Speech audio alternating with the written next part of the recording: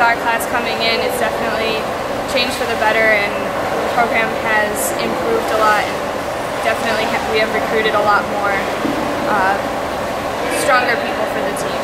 And definitely I agree with Lily. Um, our class has gone through a lot and together, especially coming into this weekend, being at our senior weekend, we sh share this bond where we've gone through the dramatic change of the team and all the drama and everything. We just came together, and this experience has been our basically our class alone. Like we're the only people who know what it felt like to go through those things, and we have a very strong bond. So these four years with these girls and even the boys that are left over on the club team has just been an amazing experience. And I honestly wouldn't have wanted to share it with anybody else. I think we're all really excited for the meet on Saturday. Um, we've had a really tough month of training.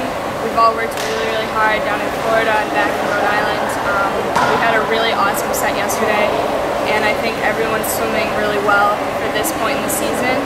Um, and I just can't wait for A10s and everyone else's final meet to see what we can do. Last year we proved a lot of people wrong as to where we were going with the program and where the program was, and this entire season has just set us up for A10s very nicely, and I think this weekend definitely will a good indicator as to where we stand and where we will be in about a month or so at A10s. So it's going to be an exciting.